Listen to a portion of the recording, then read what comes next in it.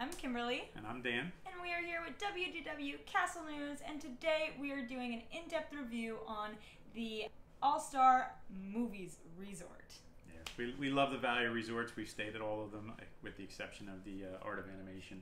But uh, the All Star Movies is one of our favorite over at the All Star Resorts. Of course, you have the three All Star Resorts in a row. You have the uh, All Star um, Sports, All Star Music, and the movies. Uh, the All Star Sports and Music were the first two value Resorts on property. They opened back in 90, 94. Um, where the All Star Movies is the newest in the row of All Star Resorts, and that opened January 15th, 1999. Uh, it's, it's a good sized resort. Uh, it's, it, it contains uh, 1,920 rooms. Uh, the rooms are about 260 square feet, so they're not quite as big as your deluxe uh, rooms. So you, they're a little tight, but hey, for what you pay for, you get a great value. And how, how much time do you really spend in your room when you're at Disney World? Uh, the average room holds four guests. If you have a child in a crib, you can work in a fifth guest, and Disney will provide a crib for you if needed. Um, so yeah, it's it's. I like the value Resorts a lot, and um, out of all of them, I've really grown to like the movies the best, and we'll kind of explain into the video why we really like this resort. Yeah, definitely. And for the resort, there are a total of 10 buildings, excluding the main lobby. So there's 10 actual hotel buildings and then the main lobby. Um, and these 10 buildings are split up into five sections, two hotels per section. Yeah. So I'll go over the sections real quick. Uh, the Fantasia section will be the, the preferred section. Once you step out of the main lobby, it's the closest uh, section to the main lobby in the resort, and it, it's it's a it's a great area, well themed. But we will go through those one by one. So uh, off the to the right of the Fantasia section, you'll have the Dalmatians section, mm-hmm. and then further back to the right behind that is the Mighty Ducks section. Uh, if you go straight through the Fantasia to the rear of the resort, you'll come into the Love Bug section. Uh, they call it the Love Bug for, for those people that know the movies, Herbie the Love Bug. It's a really nicely nicely done section as well. And then probably the most popular section is to the left, and that's the Toy Story section. And wow, is that one really themed? They did a great job at this resort with the Disney theming. The resort has two pools, and uh, we have what the main pool uh, in the Fantasia area, mm-hmm. right as you step outside the main the big lobby. pool, the main pool. Yeah. And then off into the right, uh, back in the Mighty Duck section, you have the uh, the duck pond pool, which is the secondary pool, a little smaller, but uh, a great location as well for those folks staying back there. That is the furthest walk um, from the main building and from the bus transportation center. A good thing to keep in mind is that all of the buildings on the movies property, the All Star movies, they're all preferred except for Herbie, which is interesting because preferred is more expensive than non-preferred, um, and that means the Ducks, which is actually the furthest walk from the lobby, is a preferred building where Herbie Lovebug is not, and um, is only considered preferred because they have their own pool. Now you have to take that into consideration. If you ask for a preferred room, you're not guaranteed what building, and you could actually be the furthest walk from the lobby and paying that extra money. So that's that's something to keep in mind. Yeah, it's, it's, it's strange how they set that up, but it uh, it works out great because it's one of the resorts where you can actually, if you stay in the non-preferred buildings, the, the Love Bug section, it's not that far of a walk at all. It's, not it's at all. very short walk to the pool, to the main pool, and a very short walk to the main building. Whereas the layout of some of the other, for, for example, the music, All Star Music, it's laid out very different. So if you're back in the country buildings or the um, the Broadway buildings and the All Star Music, it's a real hike to get to the even the, the main pool, let alone yeah. the buses in the morning. So you really got. So there, it would make a difference to pay that extra money, but at the movies, I don't think it's really worth it, especially because you just don't know what room you're gonna get. Yeah, no, that's. And uh, yeah, it's it's a great resort. Uh, we've stayed there a few times, and uh, like I said, we've been at most of the Value resorts. We've stayed at all the All Star resorts, and of all three, the movies is our, our favorite. Definitely. It's so well themed. Yeah, I mean, all the All Stars are themed. They, they went all out with, with theming. However, when you go to the music, there's a lot of Broadway theming, country. Um, there's just It's like genres. yeah, jazz building, and it's it's it's not Disney per se. Mhm. They Same throw with some- sports. Yeah, at the pools they throw some Disney twists. You have the Ariel pool, and then you have at the main pool uh, the three caballeros in the center of the guitar pool.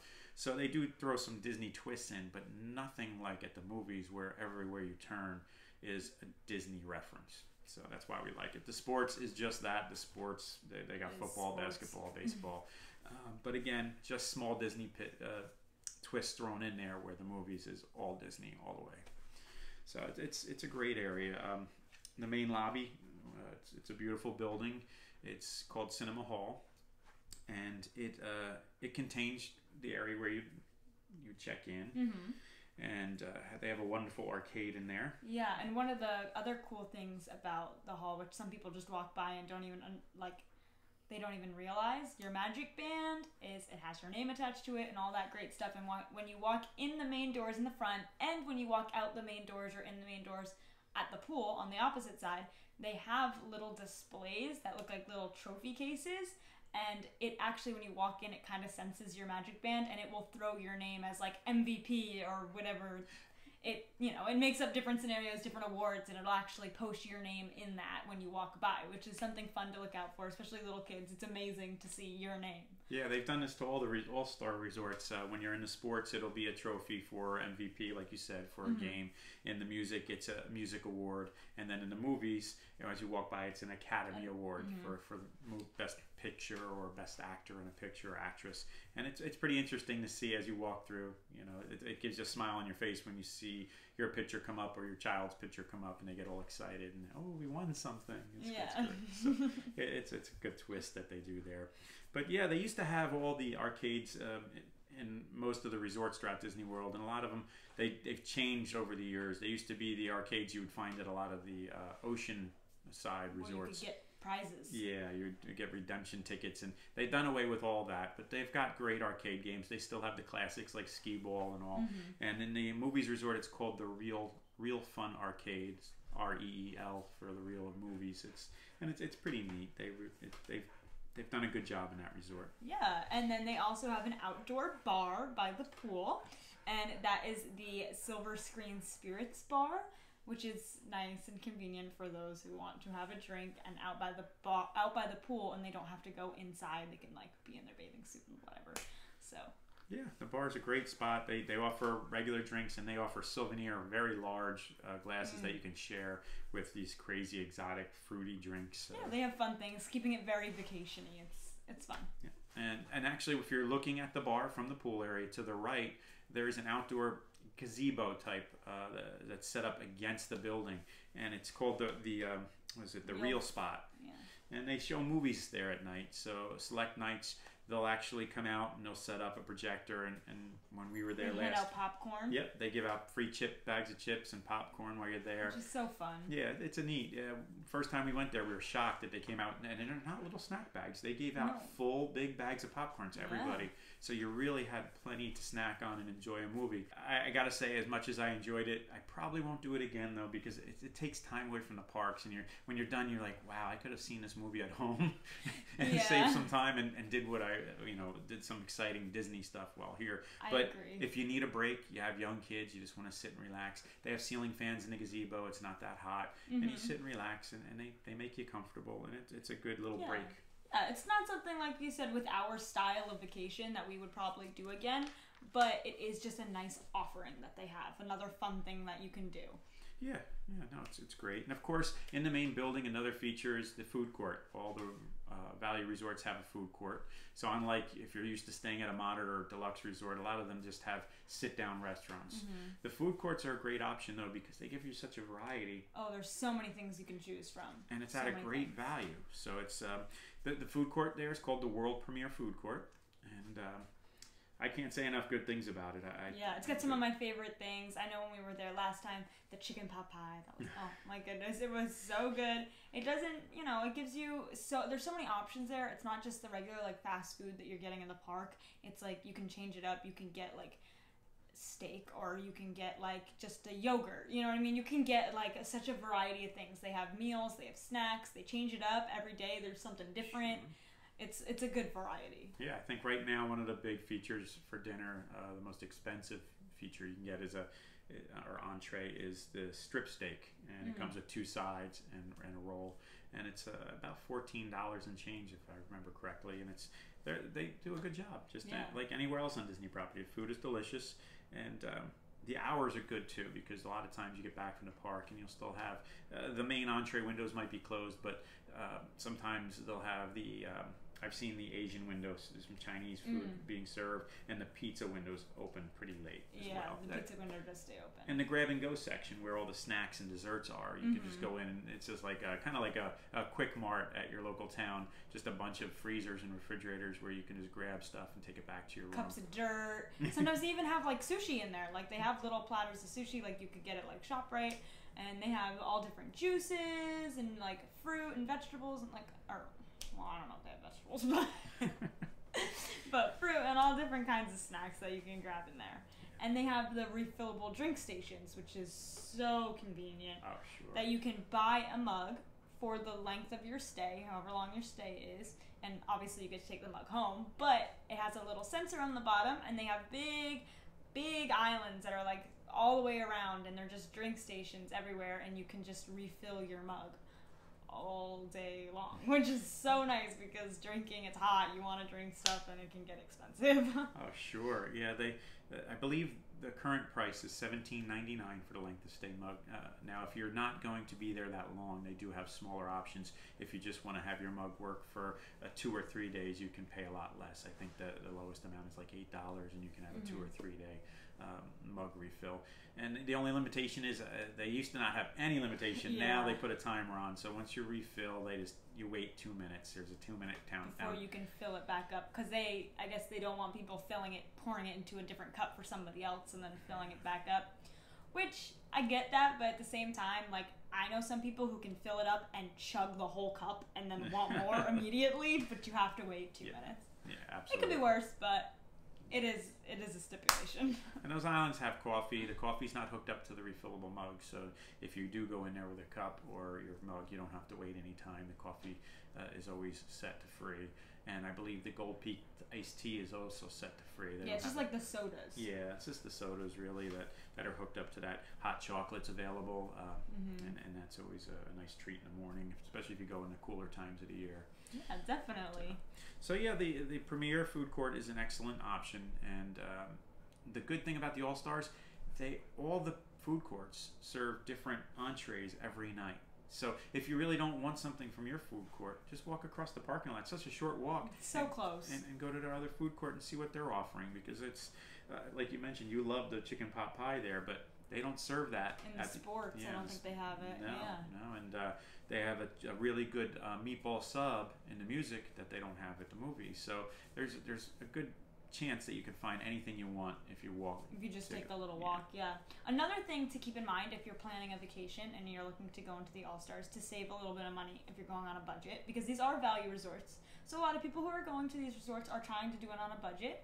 Um, you can pack like microwavable popcorn and different stuff like that, and they have microwaves in the food court just to use. So if you wanted to pack things like that, some snacks, that's gonna save you a good amount of money. Also in the main building, you have uh, Donald's Double Feature Store, gift the gift shop, and uh, just like anything else, you can find a plethora of Disney stuff that that you Oh, want to yeah. take home with you or use in the parks. And again, it kind of goes with the theming. If you don't see something in the movies resort, just walk across the parking lot. the There's sports- different things. Yeah, we, They have, you know, obviously the general stuff that floats over and everybody kind of has, but they do have certain things in certain gift shops that you can't find in the others. Sure, the sports definitely. They I, when I've gone to the sports, I see a lot. They actually have a lot of sports figurines. Yeah, um, and they have like baseballs Yeah. and like different like actual sport items. Yeah, it's, it's so you got a lot of option there when you have those three resorts packed tightly together. Mm-hmm. Uh, there's couple downsides to the resorts uh, in general. Um, they all generally, depending on the time of year, they generally share one bus. So when the bus comes, they'll start at the sports resort, then leapfrog over to pick up people at the music, and the movies is the last. So that's the biggest con about the movies is that you're last in line, so you may have to wait an extra bus if it's a busy season or Mhm. a large group gets on. You, they may not stop because they'll be full. Uh, but we've never had a problem really. It, it's been pretty smooth. And at the end of the night, when they do drop offs, they tend to separate. If the parks are closing or if it's just the opening of the parks, they do run designated buses to each resort. Because that's their busiest time. Yeah. Then then as you get a little later into the day and throughout the day, they, they combine to one bus. So that's that's probably the biggest con that I would have about staying at the All Star. Where if you want to stay at a movies specifically. well, yes, specifically. Um, we've we've seen issues at all of them, but if you're at the sports, people say, "Oh, the sports theming ain't great for Disney," but you're the first drop off on the bus, so that will attract people. But I, I just love the Disney theming, so it's worth a little bit of extra time to wait for a bus and stay at the uh, movies. For me, anyway. Now, if you're over at the Pop Century, you're on your own bus route, so that's Mhm. an advantage of that value resort. You don't share a bus ever with any other value resorts. yeah. So that's the benefit over over there. But um, so uh, let's see what else have we not covered or Well, specifically more towards the just the layout and what it looks like because we talked a little bit about the themes of the actual hotels themselves, but more specifically, since this is a very Disney themed hotel, it is a great picture area as well. Yeah. You can get some really good pictures from the movies. We have um, when you go first in, obviously the Fantasia pool is amazing. Um, the backdrop to that pool is like the big rock with Sorcerer Mickey on top. So that's very fun. And if you're in the pool, that's like a great backdrop. And against the walls, they have the big um, broom and buckets, right? Yeah. So that's super fun. Um, and then straight back through where Herbie the Love Bug is, they have a winner's circle. So it's like a big platform with like a big arc and it says winner's circle. And I think there's like a trophy or something like Yes, that on the side. yes. So that's a cute area to have, you know, stand underneath and take a picture in the winner's circle. You have a favorite photo spot back there, right? Yes, and it's if you have a family of four or five, there's an area right by the winner circle. If you're standing facing the winner circle, just turn to your left. And what Disney has done, being Herbie the Love Bug, they've buried tires in the ground and they staggered them back towards the building. And just above them will be Herbie the Love Bug sticking out of the building. It's the large icon that uh, plastered on the side of that building. And if you take a family members and line them up and let them sit on the tires and just kind of go down on one knee and get a good picture of just the whole family spaced out across that field with Herbie above. It's just a great picture spot for me. I, Yeah. it's one of my favorite pictures from a couple of years ago. Uh, and, and as you mentioned, this whole resort is spectacular for pictures. I can only think of one resort that may beat it out, and that's the Art of Animation. But that'll be another show in itself. But yeah, so it is a great area. Uh, I think one of the favorite picture spots though is Toy Story. Oh, definitely. When you go into Toy Story, which is to the left of the Fantasia area, there are so many picture opportunities. When you walk to like the middle courtyard, I guess you would call it, um, between the two buildings, there is a big door, and you're entering Andy's um, Andy's bedroom, which is so fun. I know we have some pictures um, at the door, like reaching up towards the doorknob, which is super cute area. And then they have blocks that say Buzz on one side, and they have blocks that say Woody on the other side, and that is a super cute picture. And they also have like the little toy like race car, Yeah, they have a remote control car that Yeah, would be just laying on the floor in Andy's room. and you can get you can like sit in it, and that's a cute Yeah. picture. There's like a ton of pictures. The Toy Story is probably my favorite theme area, and it has the most in it.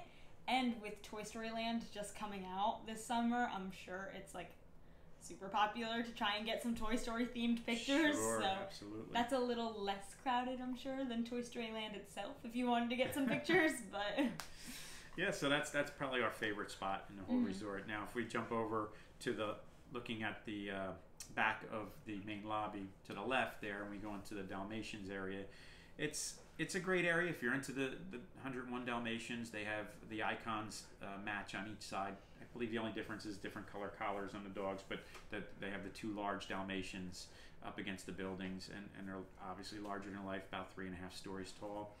And in the food court, uh, not the food court, but the courtyard area in the center, they have a couple picture spots. One Mhm. that I really enjoyed uh, was the, the TV, TV, yeah. where, where you can step around in a um, large TV and pose and get a picture as if you're in that TV And the scene. little Dalmatian is watching the TV, Yeah, so it's you cute. can. It's cute. It's very cute. and, and then probably my least favorite area at the park is, is again um, the Mighty Ducks, and that's the furthest walk from the main building. Uh, some people may love it because it has its own pool, and I'm sure it's a quieter pool. Yeah. Uh, but if you're not into the Mighty Ducks theming, it's it's almost resembles something that would be at the sports resort. Yeah, because it is hockey themed because it's the Mighty Ducks. Yeah, the, the icons in the building are the large duck goalie masks for hockey, and they have the on each side of the pool they have the goals set up. Mm-hmm. Uh, one good thing about that pool, though, and I've, I've never done it, but I can tell just by swimming in the main pool at, in the evening. Now that they do the Star Wars fireworks in MGM, Oh yeah. if you're in the pool, they the, you can cl- clearly see them at night. Where Mhm. before that, you really couldn't have a view of any good fireworks from the All Star Resorts. Now that they're doing nightly fireworks in MGM for the uh, Galaxy's Edge and all coming up, they're clearly visible from the pools. And if you're at the duck pool, you're actually even a little closer, to the MGM side of that resort. And uh, I'll tell you, I sat in the pool and really enjoyed the fireworks. It's a good show, and uh, it's just something to do if you want to take a break from the parks. You want to get away from the crowds, float in a nice cool pool, and watch some fireworks. It's Yeah, a great option. So that's kind of how the resort's broken up, and um, buses never seem to be an issue. Uh, they still have the concierge desk if you need any help or assistance. They're always willing to have, uh, very helpful. They have a cute little check-in area, so as you're checking in, the kids can go to this little mini theater and watch Mhm. some uh, car- classic Disney cartoons. And they have a red carpet. You can take pictures on the red carpet. Yes, they have a red carpet spread out in the lobby, so you can go right in as you check in and take some pictures as if you're walking down the red carpet to the award ceremonies. And it just it's just a good resort, and It is a good resort. for what you pay for it, it's well worth the money. And again, we tend to stay at the Value Resorts because when we go to Disney, uh, coming traveling from Jersey to Disney, we tend to want to stay as long as possible. And if Mhm. w- we could we could stay for almost three weeks uh, at a value resort in one vacation rather than going to a, a moderate or deluxe resort and maybe Like five days. yeah for yeah if that uh, I'd love to be able to spend a couple weeks at the Polynesian but it just doesn't allow us to so I think a lot of people kind of shy away from the all-star resorts and I wouldn't I would really go and check it out especially the movie if you're a really Disney fanatic the Mhm. movies resort it, it's it's a great option Can't beat it. It's Yeah. so nicely themed. It's it's just very nice. So before we end this this episode, what would you rate the hotel if you had to out of five stars? Just so Oh. people can kind of have a gauge on how we feel about this resort. about this resort in particular, um, you know, I would probably give it. I'd probably give it a four out of five stars. If you haven't stayed there, give it a shot. It's worth it. Don't read into all these reviews where people say the walls are thin, it's loud. I've never had a bad night's sleep at the Never. resort, and I've gone during cheerleading season when all the teams are there. I've stayed next to pretty large Brazilian groups that have come through, And and tourist groups yeah, and stuff. We've never had an issue with sleeping and loud people.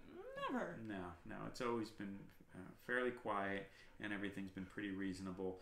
Uh, there's there's really nothing to complain about. Um, if you're concerned about the buses, then stay at the sports if you want to, and then just tour the other resorts to get your pictures. Uh, Yeah, the, the rooms are identical, just a little bit of different theming, shower curtains and things like that. But you'll get the same value for your money by staying at any one of the All Star resorts. But if you're staying at one of them, wait, make your way over to the movies and get those pictures because you're, you're definitely missing out if you don't ma- create those memories. Oh yeah, definitely. Well, that looks like that's it for today. Give the movies a shot. If you have a favorite value resort, then leave it down below. We'd love to hear what it is. And if you have just a different resort in general that's your favorite, leave it down below. We always love to hear what everybody else likes because. We're not done going to Disney, so we'll see what else we can see in the future. But yeah, so that's it for today. I hope you guys enjoyed. If you like this video, oh no, Actually, before we close Oh. out, let's just mention one thing. Not sure if we're going to have a lot of time to put up another video before we actually go, okay, but maybe you'll see us in Disney. Uh, we'll be down there August 12th through the 23rd. yes, So we'll be staying at the All Star Resorts. Um, and we'll be wandering the parks. We have our schedule, and we're excited to go. We're actually going to attend the very opening night of uh, Mickey's Not So Scary. Yes, on the 17th. So if you're going, we'll be there. We have all of our cameras ready. We're going to bring back a lot of pictures, and we're going to do some live reviews from down there, and, and we'll, we'll really uh, have a lot to talk about after this trip. But uh, just wanted to throw that out. Uh, keep a lookout for us. If you see us, come say hi. Yeah, definitely. So, with that being said, if you like this video, please give us a big thumbs up. And if you like us, then please subscribe. And we will see you all in the next one. Bye. Bye bye.